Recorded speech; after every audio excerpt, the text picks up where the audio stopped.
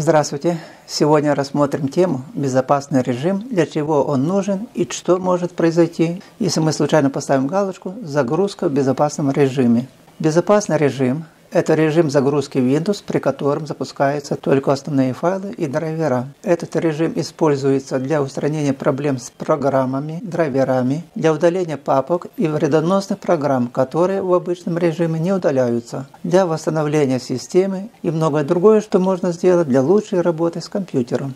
Давайте рассмотрим, как войти в безопасный режим разными способами. Если у вас на рабочем столе стоит панель управления, то открываем ее и проходим по следующим вкладкам. Администрирование, конфигурация системы, загрузка. И здесь ставим галочку, чтобы войти в безопасный режим. Нажимаем ОК, перезагрузка. Но я перезагружать не буду, потому что еще необходимо показать второй вариант. А теперь для тех, у кого на рабочем столе не стоит панель управления, а используется Windows 10. Нажимаем на кнопку «Пуск», опускаемся вниз до вкладки «Средства администрирования Windows», нажимаем. «Конфигурация системы», нажимаем.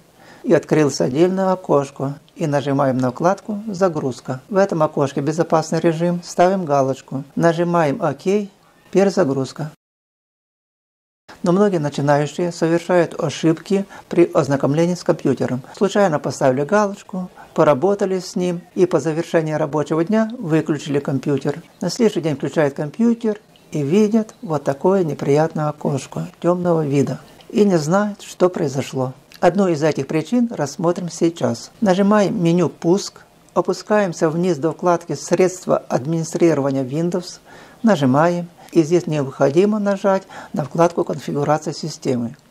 Открылось такое окно. Нажимаем «Загрузка» и здесь снимаем галочку «Безопасный режим». «Применить ОК». И нажимаем «Перезагрузка». После перезагрузки компьютера все стало в норме. Всем желаю зеленой дороги на просторах интернета. С вами был канал «Все своими руками 36». До свидания.